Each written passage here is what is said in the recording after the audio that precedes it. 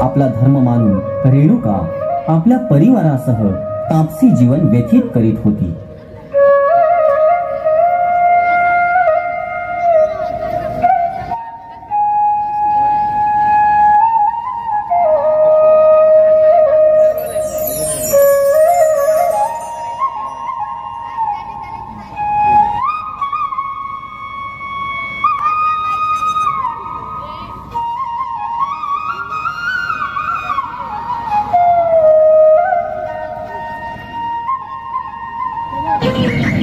एकदा अशीच पूजेचे पाणी आणण्यासाठी रेणुका नदीवर गेली.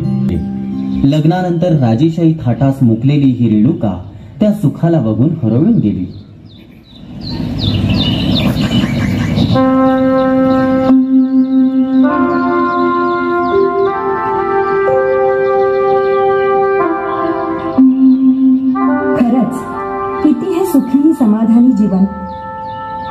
कुठल्याही गोष्टीची ही गोष्ट जेव्हा जमदग्नी ऋषींच्या लक्षात आली त्यावेळी ते अत्यंत क्रोधित झाले.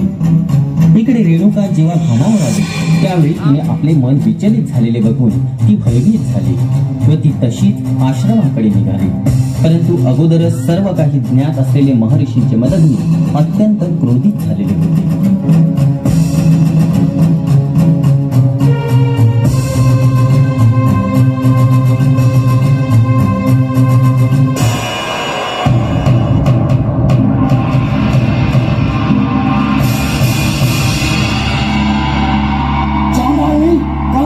चालते हो. मला तुझं कोण देखील पाहिजे इच्छा नाही. बापणी स्वतःला प्रतिव्रता समजतेस. तुला किंचित लाज वाटत नाही. मुनिवर मुनिवर मला क्षमा करा. इंद्रपुरीचं सौंदर्य बघून माझा माझ्या मनावरील संयम सुटला. मी हे विसरले की मी एक ऋषी पत्नी असून अशा सुखाचा विचार करणं देखील माझ्यासाठी पाप आहे. तरी देखील तू हे पाप केलंस तुला या कृत्याची क्षमा नाही. आपण खरं तेच म्हणलात मुनिवर. एका ऋषी पत्नीने यापेक्षा केलेलं पापकृत्य ते कोणतं असेल? खरोखरच मी आपल्या क्षमेस पात्र नाही. मुनिवर आपण जी शिक्षा मला द्याल त्याचा मी हसत मुखाने स्वीकार करेन. कारण की नाही शिक्षा तर मी तुला देणारच आहे. पण मी तुला अशी शिक्षा देईन की ज्यामुळे समस्त ब्रह्मांड जाईल.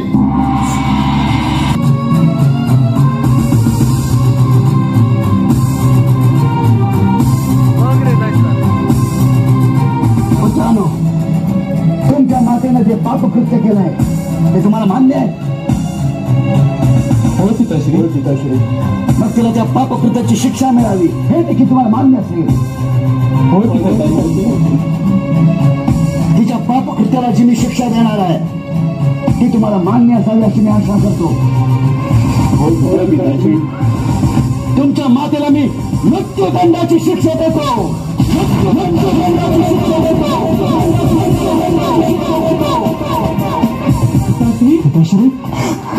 मृत्यूदंड? होय. पण पिताश्री मातेने आपला गुन्हा मान्य केला निदान त्याचा मान तरी राखायला हवा. माझ्या तोंडातून निघालेला शब्द हा आता असतो. त्यात किंचितही बदल होणार नाही. पिताश्री.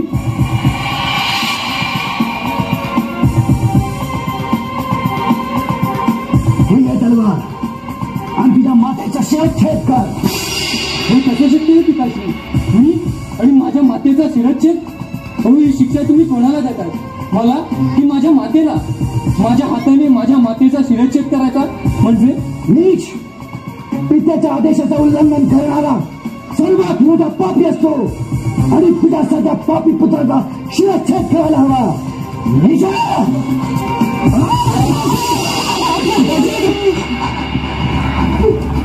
पिताजी पिताजी हे काय केलं आपण? योग्य तेच केलंय. योग्य? अहो हे जर योग्य असेल तर मग अयोग्य काय? आमच्याच मातेची हत्या तुम्ही आमच्याच हातून करू पाहताय. ज्या मातेनं आमचं संगोपन केलं आम्हाला जन्म दिला अशा मातेचं शिर धारा वेगळं करणं हे कुठल्याही पुतळ्याला शक्य होणार नाही. मलाच काय जगातल्या कुठल्याही पुतळ्याला शक्य होणार नाही. तुला जर ते शक्य नसेल. तर तू हे मृत्यूला शिकार भोग. भोग आपल्या कर्माची फळ.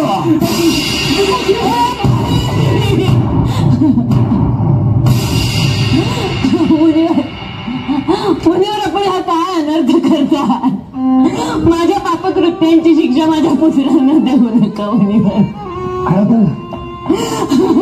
हीच योग्य शिक्षा तुला. नाही मुनीवर मी आपल्यासमोर पदर पसरते हा रक्तपात थांबवा.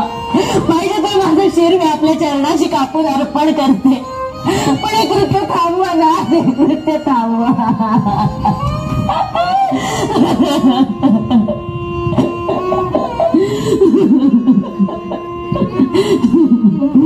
आहे पिताश्री माझ्या दोन्ही बंधूंच्या मातेच्या प्रेमापोटी आपल्या क्रोधानेच बळी पडलाय. खरं तर या माझ्या बंधूंप्रमाणेच माझंही तेच मत आहे. मग भोग आपल्या कर्माची पिताश्री पिताश्री. परशुरामा तुझ्या तिन्ही भावांप्रमाणे तुझं मत आहे का?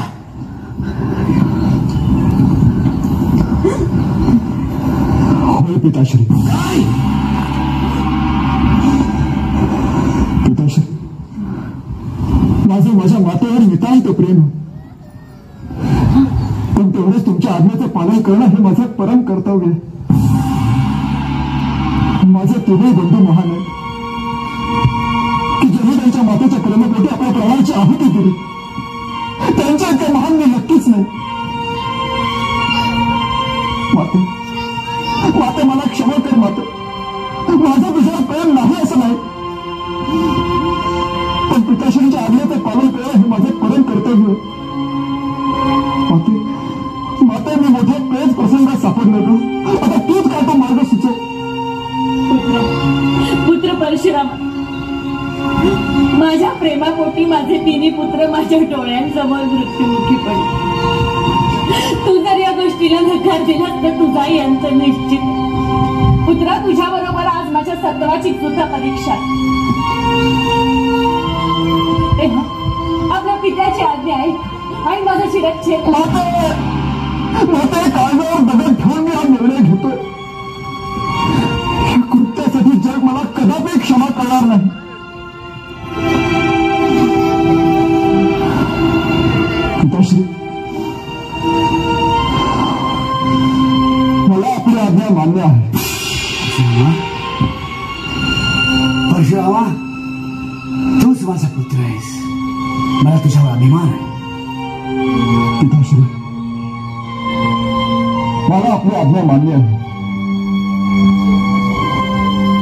पण मला आपणाकडून एक वचन हवं वचन? मी आपल्या आज्ञेचं पालन केल्यावर मी जे मागेल ते तुम्ही मला प्रदान कराल परशुरामा तू मला प्रसन्न केलंस मी तुला वचन देतो की तू जी काही इच्छा व्यक्त करशील ते मी पूर्ण करेन.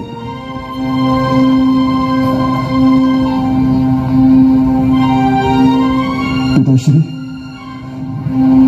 माझ्या मातेचा शिरछेद करण्यास तयार आहे. या आज्ञेचे पालन करण्यात तिन्ही पुत्र हतबल झाले. त्यावेळी जमदग्नी ऋषींनी आपल्या आज्ञेची अवहेलना झाल्यामुळे त्या तिघांनाही मृत्यूमुखी पाडले. परंतु ही वेळ जेव्हा परशुरामावर आली त्यावेळी त्याने पित्याकडून वचन घेऊन या कार्यात तो निसंकोचपणे तयार झाला. आणि क्षणार्थात त्याने मातेचं शिर धरावेगळे केले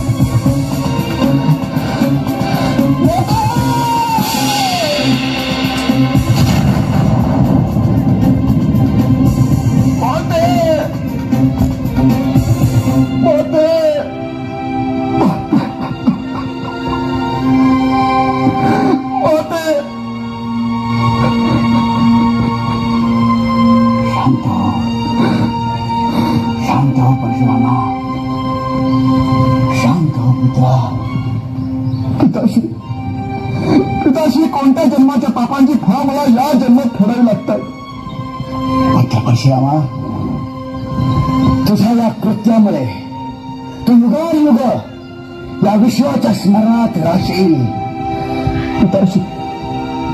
अहो या असल्या कृत्यामुळेच मराठ होणे त्यासारखं दुसरं दुर्दैव आहे कोणते तुमच्या पुत्राने आपल्या आपल्या मातेचा वध केला व्यर्थ चिंता करू नकोस परशुरामा व्यर्थ चिंता करू नकोस अरे ते घडणार आहे त्याला कोणीच टाळू शकत नाही. तू काय किंवा मी काय?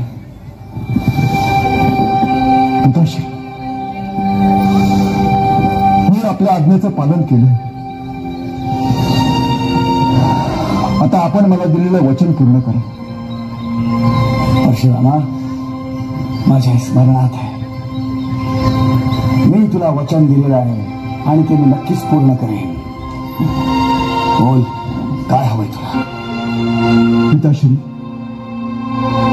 माझी फक्त एकच इच्छा आहे. आपण माझ्या तिन्ही भावंडांना पूर्ववत जिवंत अवस्थेत आणावं. आणि माझी माताही मला परत हवी. परशुरामा पिताश्री मला माहिती माझ्या या वदनातून मी आपला क्रोधास पात्र ठरेल ते मला कबूल आपण जर माझे प्राण मागायचं ते मी आनंदाने द्यायला तयार आहे. पण माझी एकच इच्छा पूर्ण करा पिताश्री.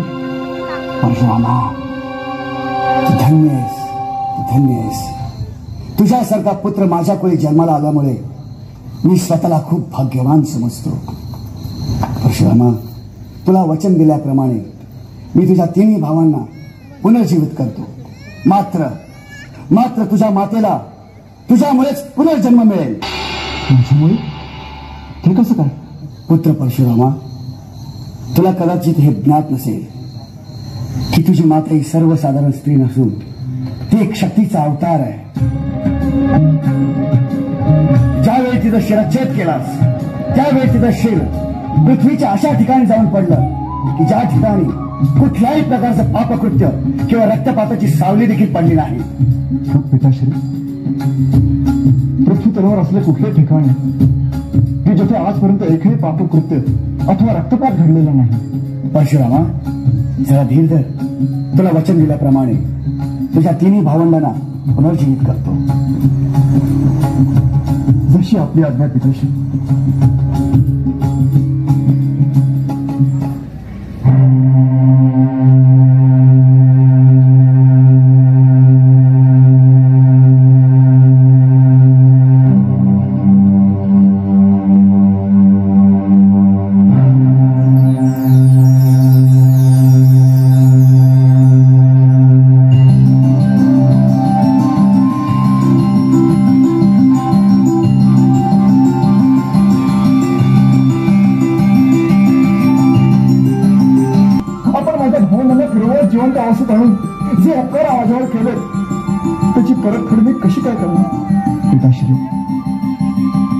आता अजून एक उपकार काय माझ्या मातेचं शिर ज्या ठिकाणी पडलेलं आहे त्या ठिकाणाची मला माहिती द्या. परशुरामा पृथ्वी तलावरील असं एकच ठिकाण माझ्या स्मरणात आहे की ज्या ठिकाणी कुठल्याही प्रकारचं पापकृत्य किंवा रक्तपात घडलेला नाही. आणि ते ठिकाण म्हणजे सह्याद्री पर्वत रांगेतील माहूरगड हे होय. याच ठिकाणी तुला तुझ्या मातेचं भगवती रूपात दर्शन घडेल माता तू कुठे आहेस माते? तुझ्या दर्शनासाठी मी आतुर झालो माता तू कुठे आहेस? मला दर्शन दे माता मला दर्शन मला दर्शन दे माते. पुत्र परशुरामा तुझी व्यथा मी समजू शकते. आपल्या मातेवर तुझं असलेलं नितांत प्रेम बघून मी तुझ्यावर प्रसन्न झाले. शोधण्यासाठी इतके कष्ट घेतलेस. तेव्हा माझ्या दर्शनासाठी तुला आणखीन थोडे कष्ट काढावे लागतील. माते तू फक्त आदेश दे. तुझ्या दर्शनासाठी मी कोणत्याही दिव्य करण्यास तयार आहे. मग ऐक परशुरामा मला जर तुला पूर्ण रूपात बघायचे असेल तर या सह्याद्रीच्या खोऱ्यात असलेल्या पवित्र अशा माहूर डोंगराला तुला प्रदक्षिणा घालाव्या लागतील. पण हो प्रदक्षिणेच्या दरम्यान तू एकदाही माझ्या हाकेला मागे वळून बघायचे नाही. अन्यथा अनर्थ होईल. पुत्र परशुरामा लक्षात ठेव ही तुझी परीक्षा आहे. जशी तुझी आज्ञा वाटली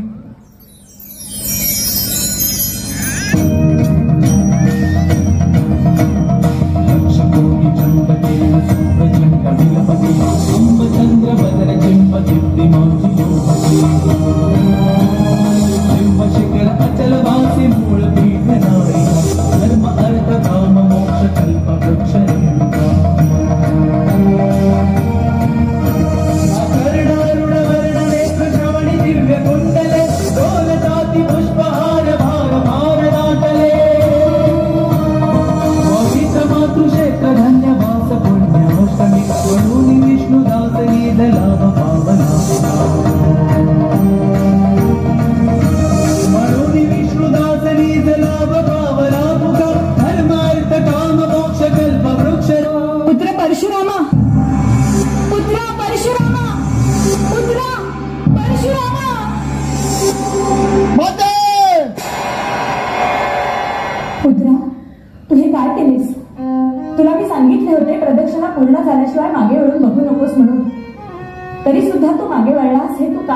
पुत्रा हे तू काय केलीस? मला क्षमा कर माते. पण बऱ्याच दिवसापासून तुझ्या दर्शनाच्या आशेनं अरे मातृप्रभूच्या हाकेनं मला नाही राहावं ग पण परशुराम मला मात्र आजपासून इथेच राहावे लागेल. होय परशुरामा आता मी ह्याच रूपात या स्थळी वास्तव्य करेन. माझ्या भक्तांच्या इच्छा मनोकामना पूर्ण करेन. शिवाय परशुरामा माझे हे स्थान पूर्ण शक्तीपीठ म्हणून प्रसिद्धीस येईल माझे हे रूप अनेक भक्तांचे कुलदैवत म्हणून पूजले जाईल. शिवाय परशुरामा माझ्याबरोबर तुझ्याही नावासाठी आदराने पूजले जाईल. माते पिताश्रींच्या सांगण्यावरून मोठ्या कष्टाने तुझ्या दर्शनाची आज होऊन इथपर्यंत आलो. तेव्हा कृपा करून माझी एकच इच्छा पूर्ण कर. बोल पुत्रा. माते माते मला तुझं भगवती स्वरूपाचं दर्शनाची ओढ लागली आहे माते. तेव्हा कृपा करू. कृपा करू मला तुझं ते अद्वितीय रूपाचे डोळे भरून दर्शन घडवून दे. मी तुझा शतजन्म ऋणी राहील माते. पुत्र परशुरामा जशी तुझी इच्छा.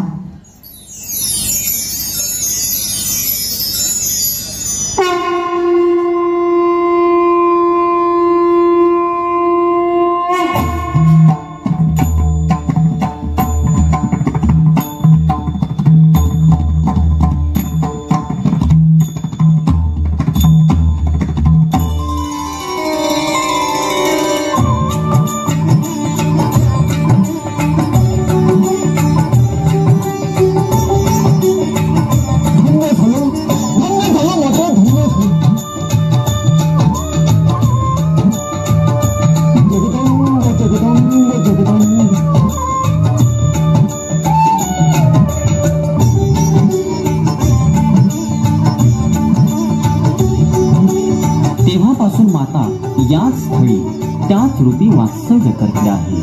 अशी ही पुराण कथा